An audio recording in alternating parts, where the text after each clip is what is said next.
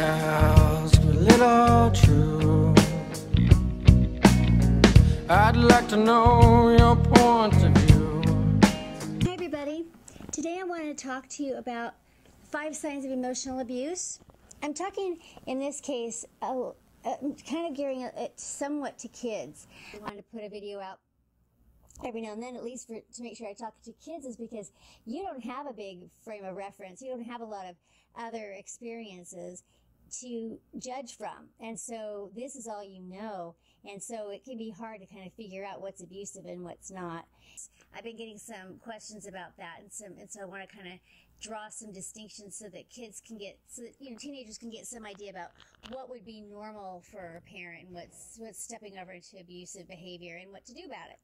Okay. So five signs of emotional abuse degradation, putting you down, making jokes at your expense. That's your feelings. You know, like if you feel upset about that, they tell you that you're overly sensitive.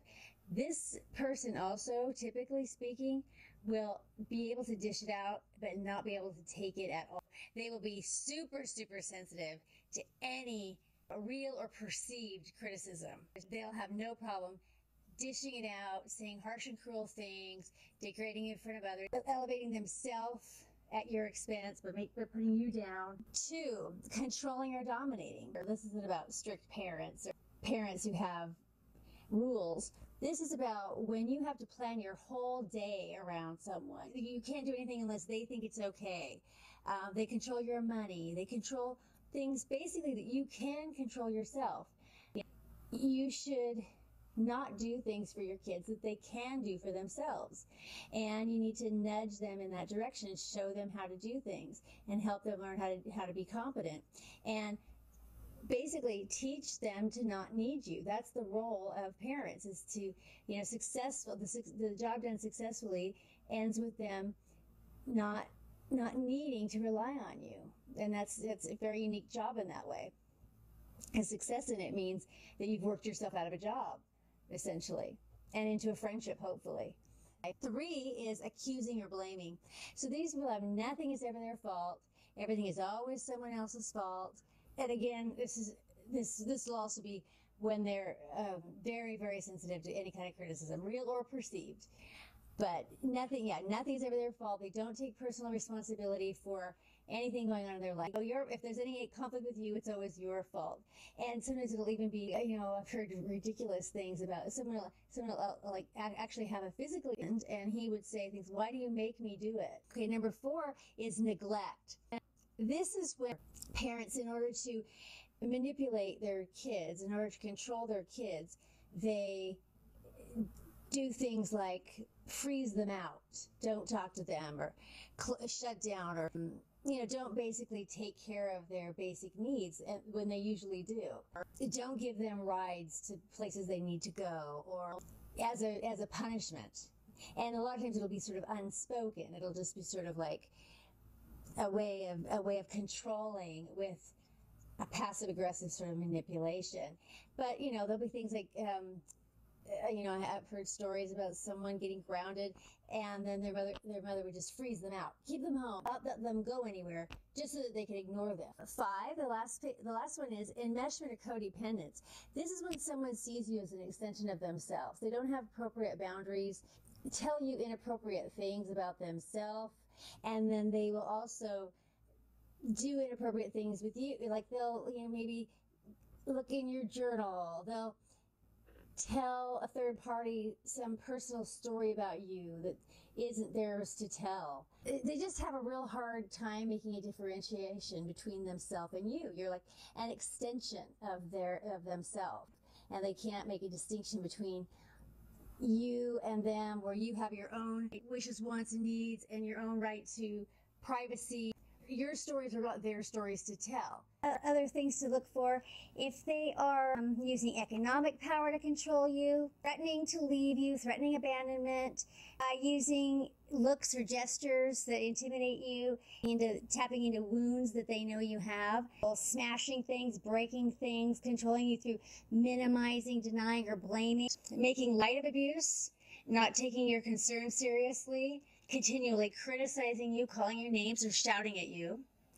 emotionally degrading you in private but acting charming in public. That's a biggie. That's always a real popular one. Humiliating you in private or in public and um, withholding approval, appreciation, or affection as a punishment. Those are all really abusive things to do. So, you know, take a peek and see if any of those things are happening.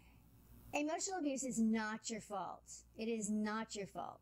Of course, you know, no abuse is your fault, but emotional abuse can be a tricky one because it is usually in private and it's not validated. And so, why they're doing this it's you know it might be that they if it's your boyfriend or something maybe they're trying where they're getting afraid you're going to break up with them.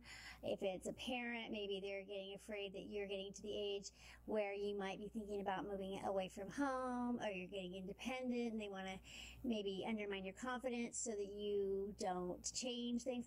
There's never a good reason for it. It's never okay. You need to get real clear on what your needs are and understand that you're going to have to meet those needs somewhere else.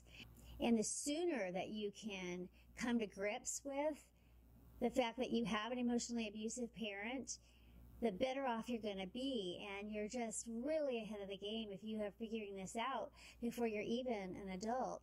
That's just really great. You saved yourself decades, you know, trying to make this thing work, trying to please these people. Narcissists cannot be pleased. The prognosis is not good for this kind of a relationship. If this is your parent, then you need to be making plans to get get out on your own. If this is what they're doing, then they are not going to meet your needs, and you're going to pay such a high price to get whatever small little bits or small needs they might be meeting, or or potentially would be meeting. You're going to pay such a huge price for it; it just wouldn't be worth it if there's any chance of you salvaging any kind of a relationship with your parents, it's going to have to do with you making really clear boundaries and getting your needs met elsewhere and and really not needing them for anything and just having it be a really low key low expectation type of relationship. And that's only if you are really good at putting in boundaries and they are okay with meeting them. They're okay with not trying to cross over and infringe in your space. And if they are doing some of these things, they're probably not going to do that very well. I would say that the two that would be the hardest would be enmeshment and controlling and dominating. If they're doing those two things, your chances of getting them to adhere to any kind of boundaries is probably pretty low. So just understand that emotional abuse is not ever your fault, and that if someone is abusing you, whether it's your boyfriend, your parent, anyone, it's not okay and it's not something you need to put up with.